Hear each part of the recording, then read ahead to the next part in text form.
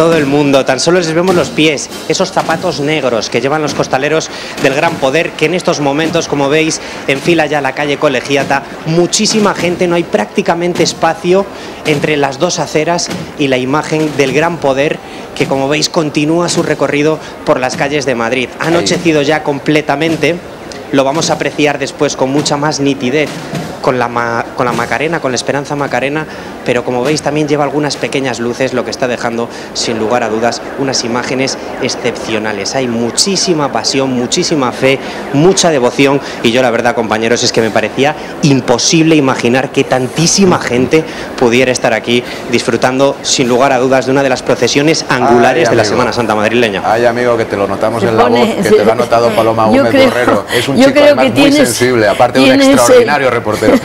Tienes puesto de rodillas el corazón delante de, sí, ya sí, ya sí, ya sí, ya sí. Mira, estamos viviendo una jornada histórica, Paloma, porque todavía nos ha cambiado la hora.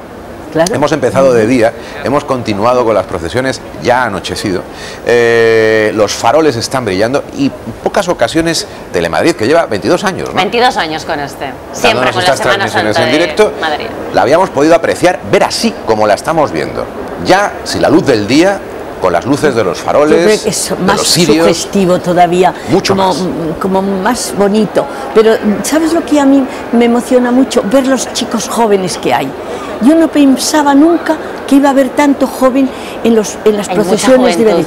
Y entonces yo digo, las tradiciones que, que no, las tenemos, no las tenemos que perder, porque esos niños de hoy son los hombres del mañana y son los que no van a hacer que perdamos esto. Entonces, cuando tú ves en una iglesia gente muy mayor, dices, pero ¿qué pasará? Pero cuando llegas a estas procesiones y ves esos niños, pero niños que los han llevado sus padres y que van de, de nazarenos también, y chicos jóvenes, a mí me dice, oigo, esto con esto no van a poder nadie.